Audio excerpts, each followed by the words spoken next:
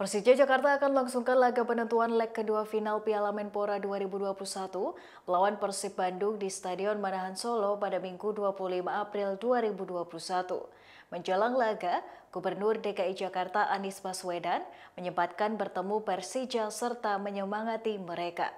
Momen kebersamaan tersebut diunggah melalui akun Instagram pribadi Anies at Anies Baswedan. Anies Baswedan menyempatkan diri mendatangi skuad Macan Kemayoran yang sedang berada di kota Solo.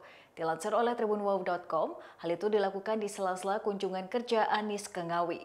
Dalam kesempatan itu, Anies Baswedan memberikan semangat kepada Marco Simic CS. Tak hanya memberikan semangat, Anies juga menyampaikan imbauan khusus kepada para pendukung Persija, yakni The Jackmania untuk tak mendatangi stadion.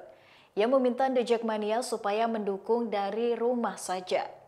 Anies Baswedan optimis tim kebanggaan ibu kota itu bisa mengalahkan Persib Bandung dan menjadi juara Piala Menpora 2021. Sementara itu peluang Persija Jakarta untuk menjadi juara Piala Menpora 2021 cukup besar.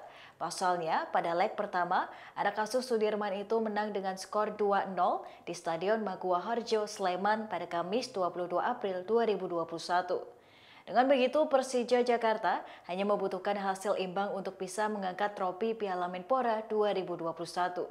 Jika lo kalah, Persija Jakarta masih bisa menjadi juara dengan syarat tidak lebih dari defisit satu gol. Siang ini saya di Solo bersama dengan teman-teman Persija yang bersiap untuk nanti malam akan mewakili kita semua membawa kebanggaan buat Jakarta. Insya Allah dan saya mengajak pada semua mari kita nonton bersama di rumah. Nonton dari rumah doakan Persija diberikan semangat.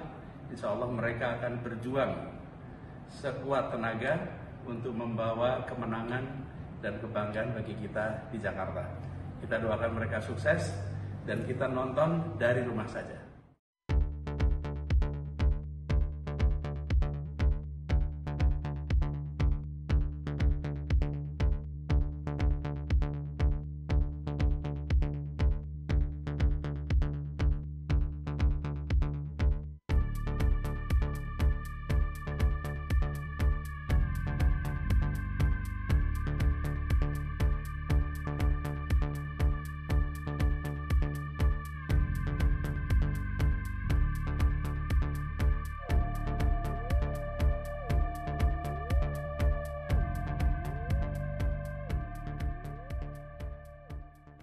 Demikian Tribunnews Update kali ini. Nantikan informasi berikutnya hanya di kanal YouTube tribunnews.com. Terima kasih sudah nonton.